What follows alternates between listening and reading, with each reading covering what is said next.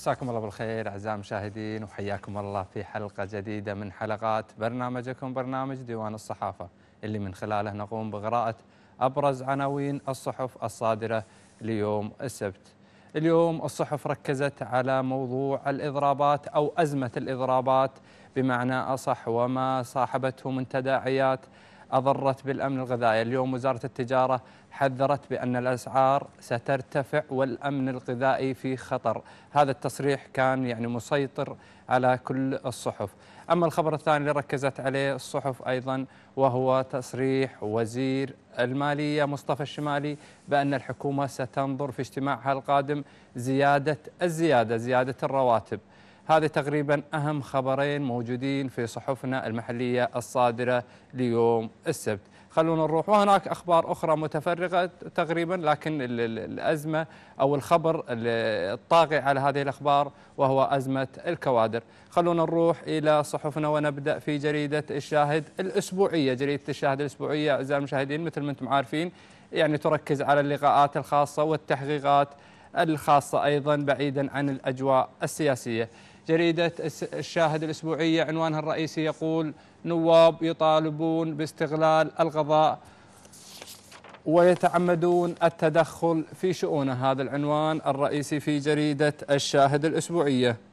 أكاديميون وسياسيون انتقدوا ازدواجية أعضاء السلطة التشريعية. الجمعان صورت المريخ وهو على بعد 100 مليون كيلومتر. الرحلة الأمريكية إليه تصل في أغسطس. مواطنون يستجوبون النواب أين وعودكم الانتخابية بعد تخلي الإسلاميين عن تعديل المادة الثانية؟ اتحاد المحامين يقترح مشروعا لتنظيم السلطة القضائية سعاد الرفاعي حين أوغض دلال المشعان ترد علي بس خمس دقائق الله يخليك. العبيدي زوجتي ورطتني باليابان بعد أن أعجبت بحقيبة سعرها ألف دينار. صدام لبريماكوف الشعب العراقي لن يغفر لي والانسحاب من الكويت ما لم نأخذ منفذا على البحر. عبد الله صفر فنان يرسم بالذهب. هذه تقريبا أبرز عناوين جريدة الشاهد الأسبوعية. نذهب إلى جريدة الأنباء وجريدة الأنباء اليوم تركز على تصريحات وزير المالية مصطفى الشمالي حول زيادة الرواتب. العنوان الرئيسي كما تشاهدون في جريدة الأنباء الشمال الأنباء الحكومة تحدد زيادة الرواتب غدا. هذا العنوان الرئيسي في جريدة الأنباء. أكد أن ديوان الخدمة المدنية متمسك بدراسته المرفوعة لمجلس الوزراء مطالبا المضربين عن العمل بتحمل مسؤولياتهم الوطنية ورافضا الحديث عن استقالته نقص في السلع وارتفاع في الأسعار الخالدي. التجارة حررت 20 مخالفة قش وتلاعب. جلسة خاصة لمناقشة الكوادر والإضرابات. أزمة الإضرابات تتفاقم وبوادر الحل قائبة. نقابيون حذروا من تكليف العسكريين بمهام الجمركيين.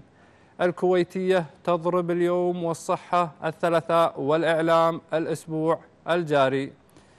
مخالفات بالجملة في قسم التعقيم بمستشفى العدان هذه تقريبا أبرز عناوين جريدة الأنباء.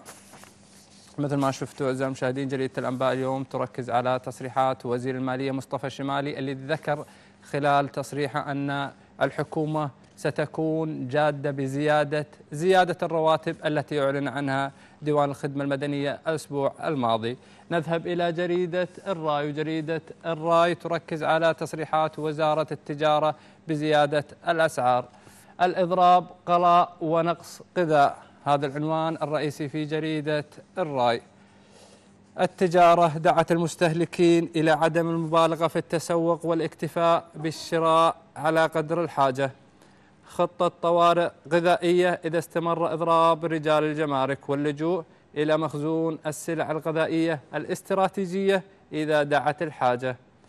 رئيس نقابة الجمارك للشمالي أنت تضرب حكومة الشيخ جابر في مقتل. الأسعار في الأسواق المركزية أرخص وسيتي سنتر يكسب الرهان على تحدي رئيس جمعية كيفان.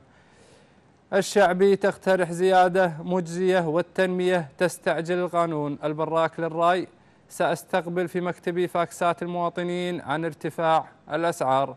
الوسمي للرأي قد تترتب على قرار مجلس الخدمة المدنية طعون انتخابية. لإخلاله بقواعد المساواة الدستورية. العدساني للرأي الحد من ارتفاع الأسعار أفضل بكثير من زيادة الرواتب. عاشور للرأي النواب المؤيدون استجوابي طلبوا مني ألا أذهب إلى عدم التعاون. لا أحد من الاثنى عشر نصحني بالتأجيل. والعنوان الأخير في جريدة الرأي 8 ملايين دينار أعمال ممتازة لموظفي الكهرباء والماء.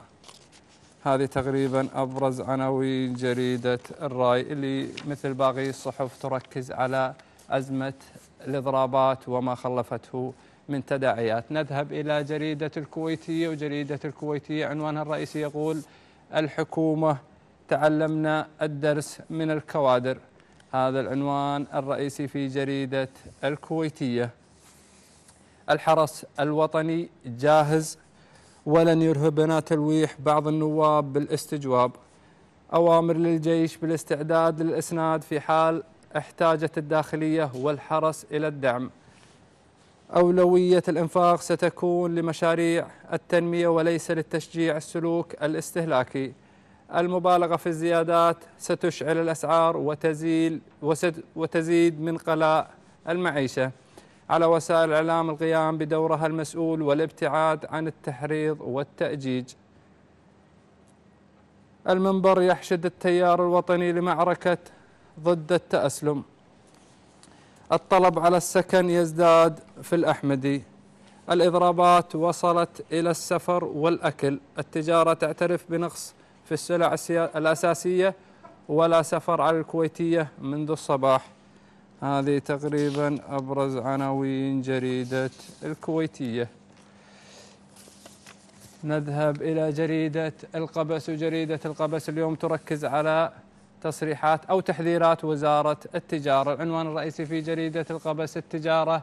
الأسعار سترتفع والأمن الغذائي في خطر. هذا العنوان الرئيسي في جريدة القبس. خلونا نشوف باقي العناوين.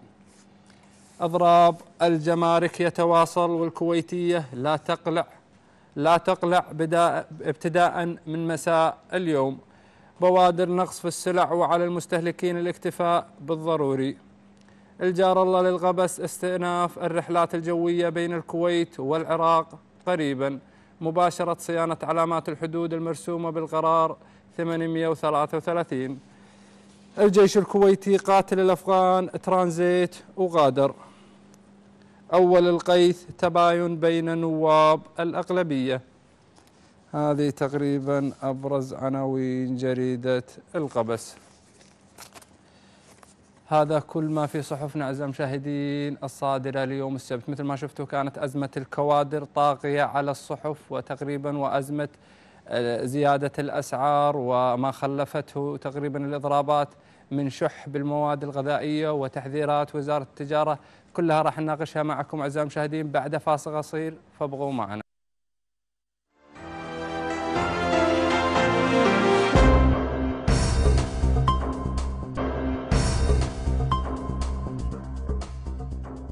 حياكم الله أعزائي المشاهدين مجددا يشاركني الحوار اليوم الكاتب والمؤلف أستاذ خالد طعمة. حياك الله أستاذ الله يحييك وهذه الساعة المباركة نكون ضيوف برنامجكم. الله يبارك فيك.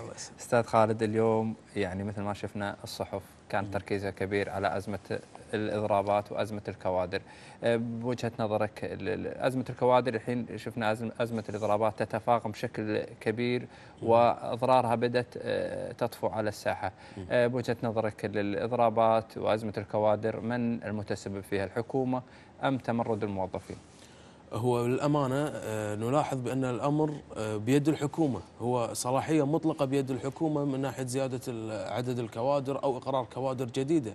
ولكن آه، تعامل أو نفس الحكومة مع أو اتجاه الكوادر المالية وجدناه بأنه لا يتمتع بدراسة مفهومة أو لنهج معين أو ل يعني خطة معينة، نلاحظ هنالك يوم معين إقرار لكادر بكمية هائلة وبجانب آخر تجد لكن أستاذ خالد هذه إيه. إقرار الكوادر كانت في الحكومات السابقة، إحنا نتعامل مع حكومة جديدة والحكومة الجديدة رئيسها وعد بحل كل هذه المشكلات، لكن آه، أتوقع يعني أنه تفاجأ بكم هذه المشاكل آه، من استجوابات من أزمة كوادر يعني بسرعة هائلة لحد الآن الحكومة لم تتحرك ولم تعمل أي يعني شيء أو شيء يذكر بالنسبة لهذه الإضرابات.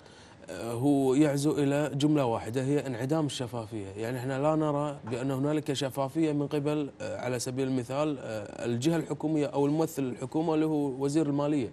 يعني نلاحظ بأن وزير المالية في فترة من الفترات يصرح في حتى في وزارات السابقة بأن الحكومة غير قادرة على إغرار كوادر جديدة أو أن هذا سيزعج الميزانية أو سيرهق الميزانية.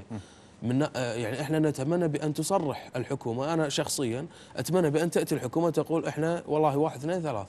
تجاه يعني تعاملنا مع هذه القضية إحنا لا نستطيع أن نقر زيادات معينة. طيب إذا أنتم ما تقدرون تزيدون هذه الزيادات أعلنوا عن عدلوا- زيادات. إي أعلنوا عن زيادات.